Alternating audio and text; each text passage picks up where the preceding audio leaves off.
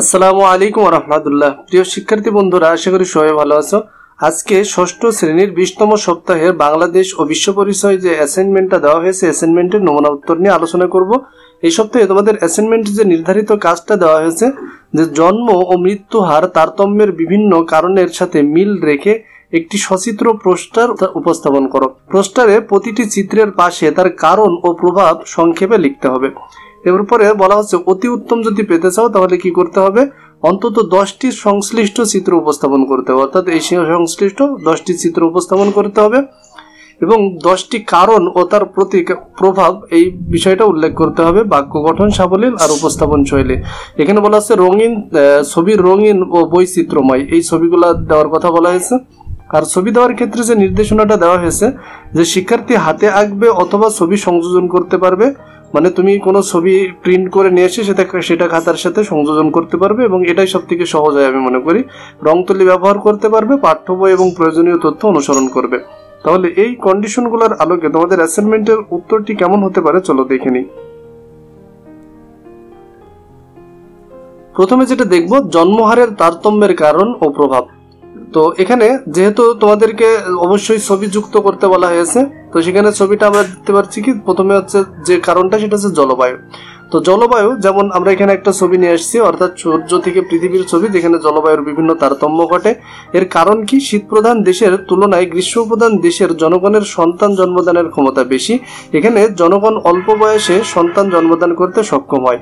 অর্থাৎ এই যে জলবায়ুর কারণে এই সন্তান জন্মদানের সংখ্যা বেড়ে যায়।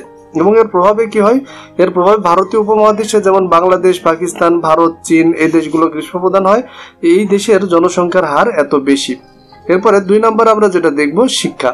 তো শিক্ষা ক্ষেত্রে যে বিষয়টা দেখো, কারণ হচ্ছে শিক্ষার অভাবে সাধারণ মানুষ হয় অজ্ঞ কুসংস্কারাচ্ছন্ন রক্ষণশীল হলে এই জন্মহার বৃদ্ধির কুফল বুঝতে সক্ষম হয় না। যে কারণে কি হয়, জন্মহার বৃদ্ধির মানে জন্মহার এটা কন্ট্রোল করা বা নিয়ন্ত্রণ করা কঠিন হয়ে পড়ে। এবং এর প্রভাবে যেটা হয়, উন্নত দেশের শিক্ষার হার বেশি, শিক্ষিত জনগণ আয় ব্যয় ভবিষ্যৎ সম্পর্কে সচেতন থাকে না থাকে, তাই তারা কোনো সন্তান মানে বেশি সন্তান জন্ম দেয় না। তিন নম্বরে যেটা আছে, বাল্য বিবাহ ও বহু বিবাহ। তো বাল্য বিবাহ বহু বিবাহের ক্ষেত্রে আমরা বলতে পারি যে, কারণ কোন সমাজে বাল্য বিবাহ প্রচলিত থাকলে দীর্ঘ বিবাহিত জীবনের জন্মহার বেশি হয়, বহু বিবাহ জন্মহার বৃদ্ধিতে গুরুত্বপূর্ণ ভূমিকা রাখে। আর এর প্রভাবে কি হয়? যেমন আমাদের দেশে বাল্য বিবাহ বেশি থাকায় আমাদের দেশের জনসংখ্যার হার কি? অত্যন্ত বেশি।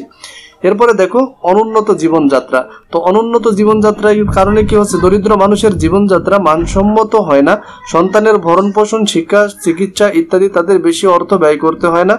এ কারণে বেশি সন্তান জন্ম দিতে তারা কোনো কুষ্ঠবোধ করে না। তো এরপরে এর প্রভাবে কি হচ্ছে? যেমন বাংলাদেশের গ্রামীণ সমাজের মানুষের সন্তানের পরিমাণ, শহরের মানুষের সন্তানের পরিমাণের থেকে বেশি। আবার শহরের মানুষের যারা বস্তি এলাকায় বসবাস করে, তাদের সন্তান কি থাকে? অন্যান্য মানুষের থেকে একটু বেশি থাকে। তো এরপরে দেখব শিশু মৃত্যুর হার। তো শিশু মৃত্যুর হার সম্পর্কে যেমন বলা হচ্ছে যেখানে নবজাতকের মৃত্যুর হার যেখানে বেশি মা বাবা জীবিত সন্তানের আশায় অধিক সন্তানের জন্ম দেয়, তাই নবজাতকের মৃত্যু হার বেশি হলে জন্ম হারও কি হয়ে যায়? বেশি হয়ে যায়। এছাড়াও এর প্রভাবে যেসব যেটা হচ্ছে যে যেসব দেশে শিশু মৃত্যু হার বেশি নয়, সমস্ত, সে সমস্ত দেশে জন্ম হার কি? মানে শিশু মৃত্যু হার যে যেসব দেশে বেশি হয় সেই সমস্ত দেশে জন্ম হারও বেশি হয়। এরপর আমরা দেখব মৃত্যুহারের তারতম্যের কারণ ও প্রভাব। তো এই মৃত্যুহারের তারতম্যের যে কারণ বা প্রভাব রয়েছে, তার ভিতরে প্রথম হচ্ছে ভৌগোলিক কারণ। তো ভৌগোলিক কারণে কি হচ্ছে? ভৌগোলিক অবস্থান ও উৎপাদন মৃত্যুহারকে প্রভাবিত করে। যেসব দেশ বা এলাকার অবকাঠামো, যোগাযোগ ও পরিবহন ব্যবস্থা উন্নত এবং আবহাওয়া ও জলবায়ু চরমাপন্ন নয়, সেসব এলাকার মৃত্যুহার কি হয়? কম হয়। আর এর প্রভাবে মৃত্যুহারের তারতম্য জনসংখ্যার পরিবর্তন পরিবর্তন ঘটে থাকে। এরপর আমরা যেটা দেখব যে প্রাকৃতিক দুর্যোগ ও দুর্ঘটনা। এর কারণে কি হয়? দেখো কারণ যেসব স্থানে বিভিন্ন ধরনের প্রাকৃতিক দুর্যোগ, যেমন বন্যা, টর্নেডো, ঘূর্ণিঝড় তারপরে খরা দুর্ভিক্ষ, মহামারী, প্রতিবেশী যে সমস্ত স্থানে মৃত্যু হার বেশি, আবার সে সমস্ত এলাকায় যাতায়াত ব্যবস্থা ত্রুটিপূর্ণ বা বিভিন্ন নির্মাণ কাজে সাধারণ সাবধানতা অবলম্বনের অভাব রয়েছে। সেসব এলাকাতে দুর্ঘটনাজনিত মৃত্যু বেশি হয়। আর এর প্রভাবে যেটা হচ্ছে মৃত্যু হার বেশি হলে ভবিষ্যৎ নিয়ে দুশ্চিন্তা বেড়ে যায়, পরিবারের উপার্জনক্ষম ব্যক্তির মৃত্যুতে জীবনের অনিশ্চয়তা সৃষ্টি হয়। এরপরে যেটা রয়েছে, বিভিন্ন রোগ ব্যাধি। বিভিন্ন রোগ ব্যাধির কারণে মৃত্যুহার বেড়ে যায়, যেমন যেসব এলাকায় কলেরা, টাইফয়েড ম্যালেরিয়া ম্যালেরিয়া হাঁপানি বা বিভিন্ন ভাইরাসজনিত রোগের প্রকোপ বেশি, সেসব এলাকায় মৃত্যুহার বেশি। এর প্রভাবে কি হচ্ছে? কোনো দেশে মৃত্যুর পরিমাণ বেশি থাকলে সে দেশের সন্তান জন্মদানের পরিমাণ বেড়ে যায়। এরপর যেটা গুরুত্বপূর্ণ, দারিদ্র। তো দারিদ্রতাটার কারণ কি? দরিদ্র জনগণ পুষ্টিসম্মত খাবার খেতে পারে না, উন্নত স্বাস্থ্য ব্যবস্থা নিতে পারে না, জীবনযাত্রার মান থাকে নিম্ন, ফলে বিভিন্ন রোগ ব্যাধি সহজেই তাদেরকে আক্রমণ করে এবং তারা মারাও যায় বেশি। এবং মৃত্যুহার বিষের প্রভাবে কি হয়? এজন্য উন্নত দেশের তুলনায় উন্নত দেশের মৃত্যুহার কি থাকে? দেখবে, বেশি থাকে।